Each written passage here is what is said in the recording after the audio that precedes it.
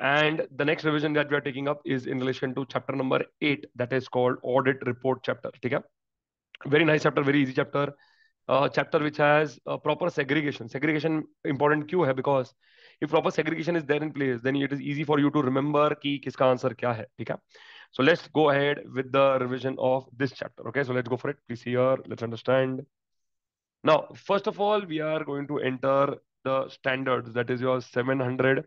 you have 701, 705, uh, 706, and 710. These are the standards which are there in this chapter.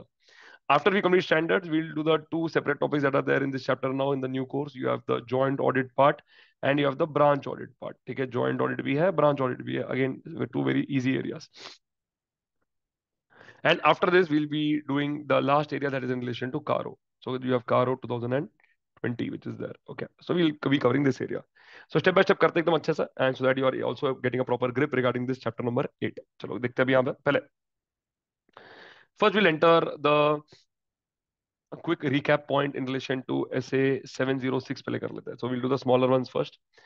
What is SA 706? SA 706 is nothing but emphasis of matter paragraph and other matter paragraph. Now, whenever the management has prepared the financial statements properly, management की यहाँ पे कोई भी गलती नहीं है। Management as given the financial minister proper manner but but the auditor is of the opinion that it is fundamental to the users understanding to highlight some point that the management has given in the note to accounts तो अगर यहाँ पे auditor को कुछ highlight करना regarding the financial statements regarding financial statement के बारे में अगर ऑल्टर को कुछ हाईलाइट करना है यहाँ पे then the auditor will give the highlight as per your S S seven zero six there is a paragraph called as emphasis of matter paragraph Second, if the auditor wants to highlight to the shareholder something in relation to the auditor's work, that is auditor's report, auditor's responsibilities, or the audit, okay? In that case the auditor will highlight using something called as other matter paragraph remember 706 will only come only come if that matter that particular matter is not covered in modified opinion and that particular matter is not covered in the key audit matter paragraph. अगर कोई matter यहाँ पे 705 मतलब modified opinion है, या तो फिर अगर वो matter sorry for that one second अगर कोई मैटर यहाँ पे 705 के अंडर कवर हो रहा है, या तो 701 के अंडर कवर हो रहा है then that matter can not be a 706 matter can not be a 706 matter simple है? You have to keep this in mind okay now 706 का other matters also there which I'll explain to you when we do the answer one by one but this is the brief concept. What is 705 now? 705 is modified opinion. Whenever the auditor is giving a qualified opinion or an adverse opinion if he has obtained sufficient appropriate audit evidence and if he has not obtained sufficient appropriate audit evidence then the auditor will give a qualified opinion if the matter is if the possibility of material misstatement is there and the matter seems to be seems that it is not pervasive. The auditor will give a qualified opinion. And if the auditor has not obtained the audit evidence and the matter the auditor is is guessing that material misstatement can be there and if feels it is pervasive then the auditor will give a disclaimer of opinion. So whenever the auditor gives qualified report or an adverse report after obtaining the audit evidence, or if the auditor has not obtained audit evidence and the auditor is giving a qualified opinion or a disclaimer of opinion, we call it as a modified opinion or a 705 matter. Okay. What is 706, 701, sorry. 701 is called key audit matter. So out of the communication that you have done to the TCWG throughout the year, out of those matters, which are the MSM, that is most significant matters that we discuss with TCWG, when you collect it at one place and show it to the shareholders, when you collect it at one place and show it to the shareholders, that matter is called key audit matters and it is covered in the key audit matter paragraph. Okay. Next is SA 700. 700 is the audit report format, the format that the auditor follows. And 710 is a very nice standard, very important standard that is comparative information, corresponding figures, and comparative financial statements. Okay, it is covered in this manner. That is your 700, 701, 705, 706, and 710 in a gist what it is. Okay. Now let's go for it one by one. Now we'll go in the order of 700 first. Okay. Now 700 is what? One second. Okay. In 700, the auditor is the auditor is forming an opinion. The auditor is forming an opinion, and the auditor is giving his opinion through a written report. Auditor is giving his opinion through a written report. Okay, so that is the objective of SA 700. Next, I've said here that the auditor here shall form an opinion whether it is whether the financial statements are prepared in all material respects and as per the applicable financial reporting framework. Next, I've said here that evaluation by the auditor, what all should the auditor evaluate?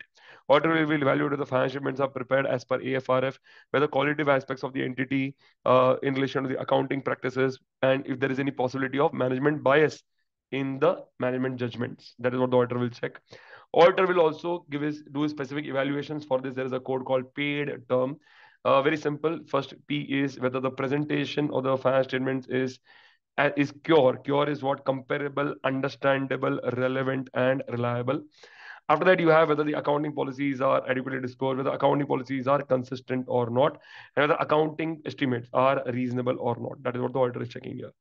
Auditor will also see whether there is adequate disclosures uh, to enable the intended users uh, to understand the effect of material transaction and events on the information conveyed.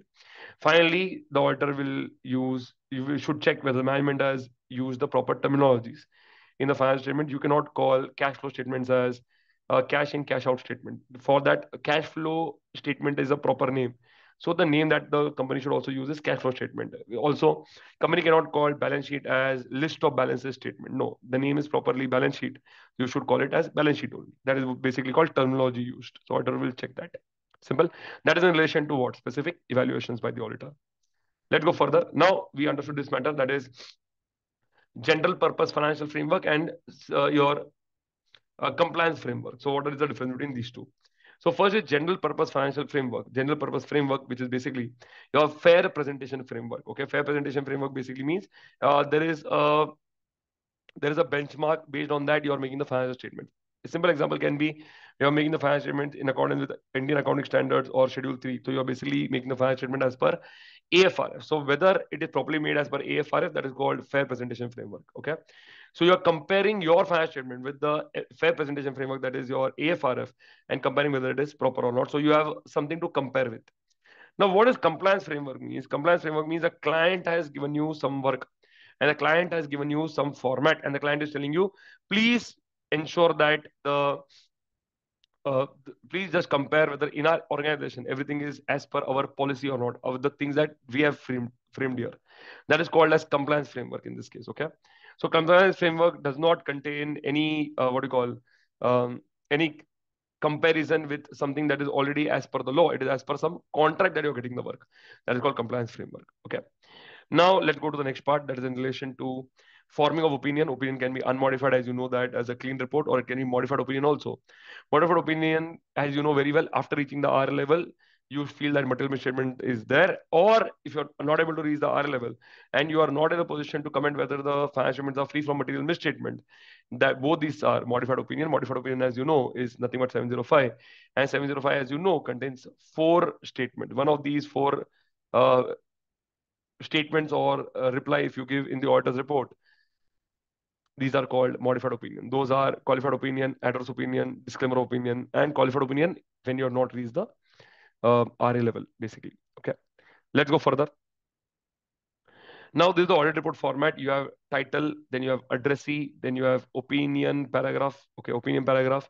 Then you have the basis for opinion here. Then you have the going concern paragraph here. After that, you have the key audit matter paragraph. Then after that, in key audit matter, you have you know different areas which are there in place already. Okay, so that we'll see.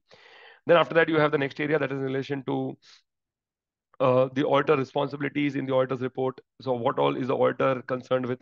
So regarding that also we have seen. Then after that, you have the next last, you know, simple areas in relation to the location of the description of the auditor responsibilities, the date of the audit report, the place of the audit report, the signature of the auditor's report, all these things the auditor will check. Okay, so you have the signature of the auditor, auditor's address, that is a place of signature, and the date of the auditor's report. That all the auditor should. That all we have to give in the in the audit report. That is SA 700. After that, you have the next area that is in relation to SA 705. We'll do it in the flow of this flow, which is here. 705, as I told you, is modified opinion. Whenever the auditor gives a qualified or an adverse opinion or a qualified or a disclaimer of opinion, the auditor is giving a modified opinion. In I think in this we have discussed fairly all the things properly. I'll just uh, point out some key area to you. You remember what is pervasive. So it will appear on your screen now. See pervasive. Pervasive means you have to remember a code called DINS, D-I-N-S. So you will see in the lower half of whatever you can see on the screen. You can see there first. Uh, disclosures which are fundamental to the user's understanding, if those are missing, then the auditor will say that it is pervasive, that it means it is it is a big problematic issue. Second is if the misstatements of the company are not confined to a specific element, account, or item, then the auditor will, auditor will say it is pervasive in nature. Even if they are confined, if the auditor feels that a substantial proportion of the financial statement is affected, then the auditor will say that it is pervasive. Okay. Next, we have this point called disclaimer of opinion. In disclaimer of opinion, we say the auditor shall disclaim an opinion when the auditor is unable to obtain sufficient appropriate audit evidence on which to base his opinion. And the auditor will, of course, if the auditor feels that the possibility of the misstatement is material as well as it is pervasive, the auditor will give a disclaimer of opinion. So this, I think we have done it many times. Now, which type of opinion is appropriate? Now, auditor will decide this on two things. I've, I've given, given, that in yellow there. When the matter is materially misstated and based on pervasiveness, the auditor's opinion will change. Okay. This table we have already seen. You can see on the table on the right hand side, qualified opinion, adverse opinion, qualified opinion, and disclaimer of opinion. Also remember, whenever the auditor is giving a report as per 705, the basis for opinion paragraph will change to basis for qualified opinion or basis for adverse opinion or basis for disclaimer of opinion as, as per the situation, as per the report that the auditor is giving. Okay. Uh, let's go to now 706, that is emphasis of matter paragraph and other matter paragraph. Okay. As I told you, emphasis of matter paragraph, our main focus is on the uh, financial statement, financial statement. And in your other matter paragraph, it is other than those present or disclosed in the financial statement. So other than those. Other than those means what?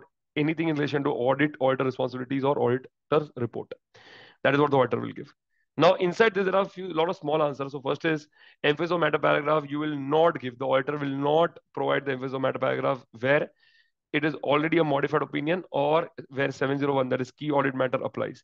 So only when it is not a modified opinion and it is not determined as a key audit matter, only then emphasis of matter paragraph will come. Will come. Okay. So only when 705 is not applicable, 701 is not applicable, 706 will come. 706, that is emphasis of matter paragraph will come in this case. Okay. Next. Sir, emphasis of matter paragraph will have a separate heading called emphasis of matter. If you remember in the class, I had shown you the Reliance report, which had emphasis of matter. There, we are giving clear reference to the matter being emphasized. In Reliance report, you had something called as note number 31B and note number 41.1. And finally, the auditor's opinion is not modified in respect of the matter emphasized. Okay. So these three things should be are the main key areas for the uh, emphasis of matter paragraph. Okay. Disclosures. Let's go further circumstances where emphasis of matter paragraph will be given and you have to frame your own examples. These examples you can go through this we are done in the class, but the key point you have to remember is that see, the main framework is company has disclosed something properly. So there is no material misstatement. So see no material misstatement, but auditor wants to highlight it for the users of the financial statements. And for that, the auditor is using the emphasis of matter paragraph and it is related to the financial statement. Only then EOM paragraph will come. Okay. That is what the auditor is doing in this case. Okay. Let's go further. Now, other matter paragraph will uh, come only in which case it should not be prohibited by law or regulation and it should not be a key audit matter. So if 701 is there, 706 in the case of other matter paragraph will not come. Okay. Next, I have given here C, the auditor will give the heading as other matter. And in this way, the auditor will present the other matter paragraph. Comfortable? Okay. Let's go to the next one. That is SA 701. That is key audit matter paragraph. Key audit matter as I told you, it is used to enhance the communicative value of the auditor's report by showing greater transparency about the audit that was performed. The auditor is here, uh, whatever are the important matters he discussed with the TCWG, he is uh, filtering that and only the most significant matters which were discovered TCWG, the auditor is showing in the auditor's report. Okay, let's go further. Now, uh, how do you determine the matter is a key audit matter? You will determine if there is higher risk of material misstatement. Uh, the it is in relation to any significant event or transaction, and finally, it is in relation to uh, any high estimation uncertainty, high estimation uncertainty. As you see our code, this is more higher risk of material misstatement, higher estimation uncertainty is there, and significant transaction and events are related to this. Okay. Only then the auditor will show it as a key audit matter. Okay. Last but not the least, you have the answer which has a code called MODIG. That is communicating key audit matters in the auditor's report is not a substitute. It is not a a substitute for giving a modified opinion. It is uh, not a separate report on individual matters. It is not a substitute for disclosures. And finally, report for report, uh, the substitute, it is not a substitute for reporting matters regarding going concern. That is, I say, 570. That is basically covered in this part. Okay. That completes your four standards which are covered till now. That is uh, 700, 701, 705, and 706. Okay. Uh, before entering the next standard and joint audit and branch audit, what I'll request you to do is just go through these four standards first. Go through it once. And we'll call this as part one. Go through it properly. Any queries, ask me. Then after that, we'll continue with uh, 710 and uh, joint audit, branch audit, and Caro separately I'll give. Caro, because a separate video is already given for Caro revision. What I'll do is Caro revision, I'll put the link in the description below. So that Caro revision, you can do it separately. Okay, so Caro revision, you can easily do it in a separate manner. Okay, I'll share the link with you. Okay. Please go through this. Please go through 700, 701, 705, 706 first. First go through this. Then we'll take it up. 710 will take up.